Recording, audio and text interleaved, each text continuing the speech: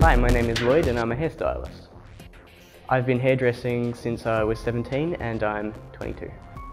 Tonight I'll be showcasing with a company called April Lorraine a variety of updos and textured. My design process, I take, I, at this time I worked from the dresses. I got a lot of, um, I looked through them and I thought about how they would sit and what I would want to be showing off if that was my work.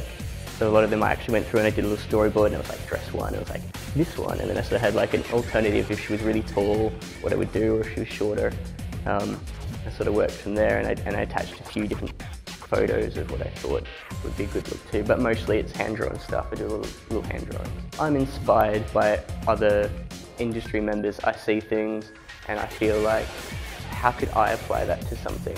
And, and then where would I use that? And often I'll come to something like tonight and I'll go, I saw that months back, I think that's perfect, and I'm going to find a way to twist it to really fit in. Um, I think others should know that having a, an arts background is really important. I think that made a big difference in my career choice and how I got where I am and um, how I build and create what I've got. My future aspirations for my work um, is I'd love to take it take it higher. I'd love to be doing this more often, sort of getting, getting out of your salon and really up working brand, stage, just really trying to drive it to a, to a higher place. In five years' time, I can see myself working a variety of things, doing more of this. Um, I'm actually taking a trip to Japan next year. I'm going to see if I can get some more skills over there. I'd love to international travel, would just be amazing.